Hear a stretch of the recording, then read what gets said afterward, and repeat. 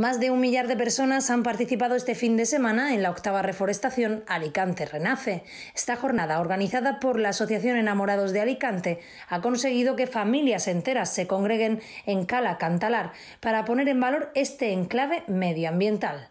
La reforestación se ha desarrollado de forma escalonada, facilitando así el acceso y la participación de los asistentes.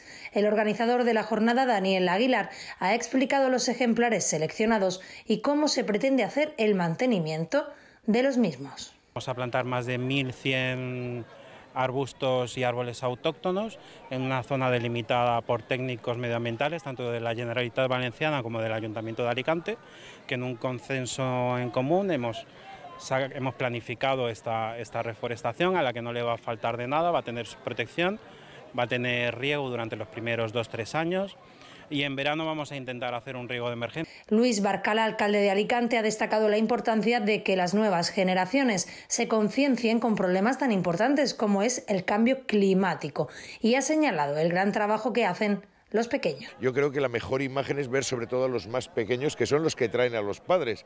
Eh, al final, esa concienciación, ese saber que esto es tuyo, que lo tienes que proteger, es nuestro futuro y es nuestro patrimonio y tenemos que cuidarlo. Con esta ya son dos las reforestaciones llevadas a cabo este año por la asociación Enamorados de Alicante.